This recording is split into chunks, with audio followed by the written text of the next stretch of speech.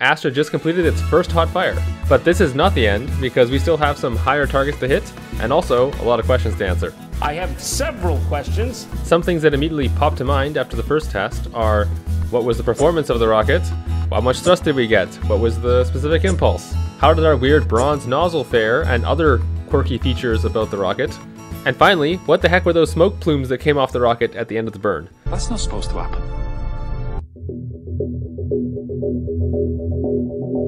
There'll hopefully be many more hot fire burns in this propulsion testing campaign, but first we have to understand what exactly happened in the first test. Uh, everything went really well. We had good combustion. We had our grain performing properly. We also had no explosions. Oh my god! Wow! We did have one leak Hold up. Wait a minute. in the spot where we push the paraffin grain into the Pertinax insulation. We had a little bit of leakage of paraffin wax spilling into the side of the combustion chamber. Uh, the reason for that, most likely, is because our injector plate for our impinging injector, which is the one that we use for this test, is not quite drilled perfectly. If you look carefully, you can tell that our holes that are on the outside of this injector plate, they're a little closer to the edge on this side than they are on this side. So basically the entire thing was drilled a little bit too high. And this means that when we connect it to our bulkhead and we have our grain sitting on the opposite side, because it's not centered, it kind of has the grain sitting at a bit of an angle. And that's why we had the leakage spilling over on this face here.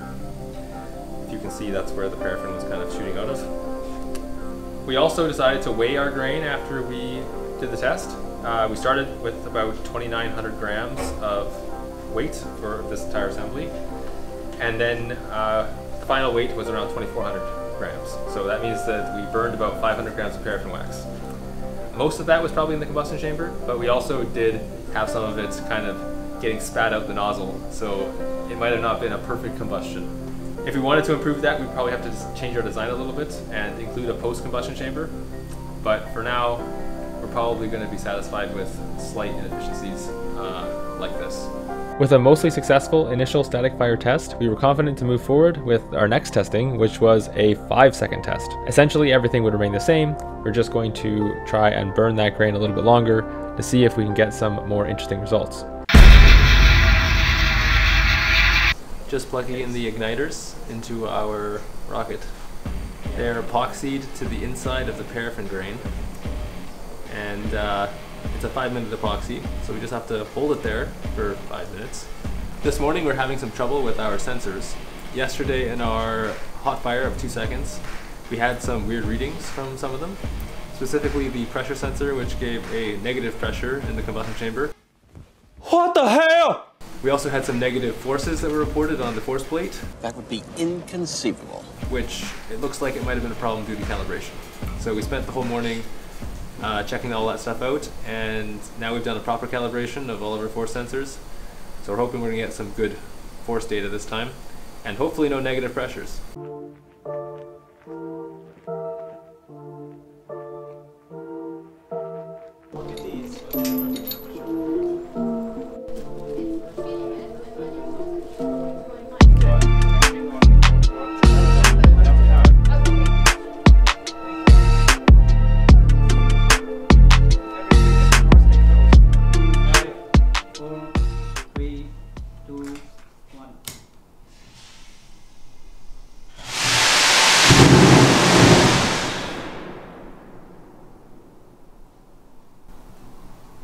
Open.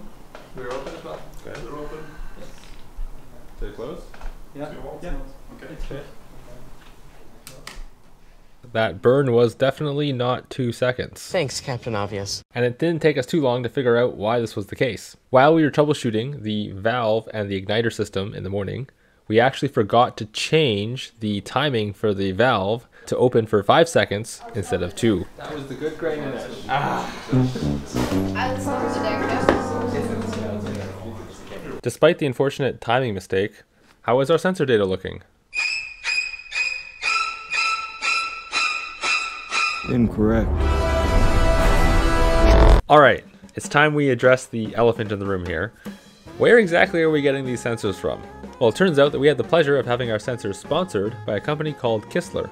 They produce all types of different sensing equipment for various testing applications, and for our propulsion testing campaign, they were a perfect fit. Plus, they do make some really fancy sensors, but as is painfully obvious at this point, we kind of don't really know how to use them yet. so we had to call in the big guns and ask for some help from the Kistler team. Even though we're just a student group, three Kistler employees actually came to help us to solve our problem. So first up, we wanted to fix the problem with these negative pressures that we were getting in the combustion chamber. We had two sensors which were recording pressures on our test stand. One of these sensors was located in front of the injector, which means it was recording the pressure at which the nitrous oxide was being fed into the combustion chamber. This one was recording positive values, no problem. But it's that pressure sensor that we put on the combustion chamber itself that was giving us the weird problems. I'm a problem child. But it turns out that after some discussion with the Kistler team, we realized what the source of the problem probably was. Because it's really hot in the combustion chamber, Well, no fucking shit. it causes the sensor to go through a thermal shock, which can really adjust the baseline that the pressure sensor is set at. So instead of having its baseline reference pressure be zero, it actually ends up going really, really, really negative. Interestingly enough, the Kistler team recommended that in order to solve this problem, we actually just apply a little bit of silicon over the face of the sensor. This way it won't be as thermally shocked by the hot combustion chamber environment. Easy peasy lemon squeezy. We had some problem with our force data. We weren't getting good force values. They were kind of all over the place. We took our force plates home. We did a little bit of uh, troubleshooting, to figuring out exactly what was going on. We are now trying a different system. Before we were using that thing that looked like a flux capacitor. The flux capacitor. It was made out of aluminum, but the aluminum was probably too soft and it was deforming a bit too much, which is an issue for these pressure sensors. So instead, we have now gone to just using two steel plates. We actually cannibalized one of the steel injectors that we had that was drilled wrong. So now it's being used as a force plate. We set it up. It looks a little bit better for the force data that we're getting just by doing our calibration with weighing ourselves. So we're hoping that that will give us some slightly better results. In principle, all the three force sensors have to be summed up, and when it sums up in a particular way, it, it's supposed to give you the sum of all of the values, which is recorded in a virtual channel, which is used on the LabAmp from Kistler. Um, and what can affect these values is essentially the sensitivity value that you set up um, and any filters that you set up on the system because you're going to have a low frequency and a high frequency and of course the center part and depending on whether you set a low pass, high pass or a notch filter, the kind of data that you're gathering gets filtered out. And of course what affects the resolution is also the number of samples that you're taking per second and uh, we're trying to set an optimum value of the samples per second switching off all the filters so that we have all the data and that we're not missing out on anything. After all of our modifications to our sensor setup, we are finally ready to give this another go. Three, two, one.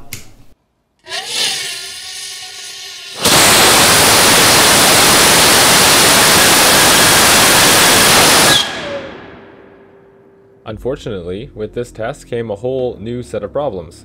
We were actually able to get some positive readings off of the pressure sensor in the combustion chamber, so at least we had this problem solved.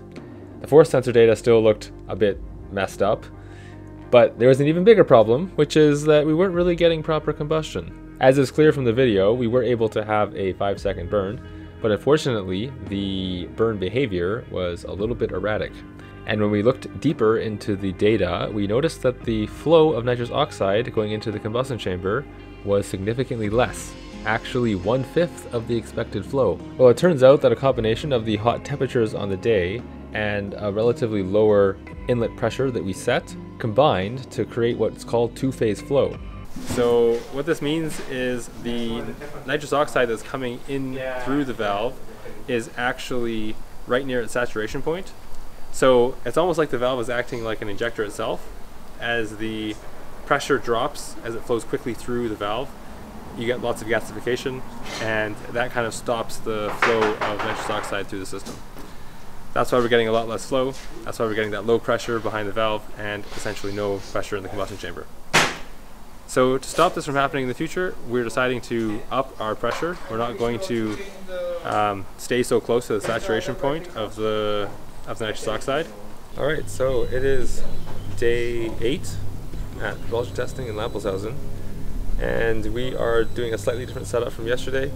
We're only going to change the pressure because as we discussed before, we're not getting enough pressure to uh, get above the saturation or the vapor pressure while we're going through the valve.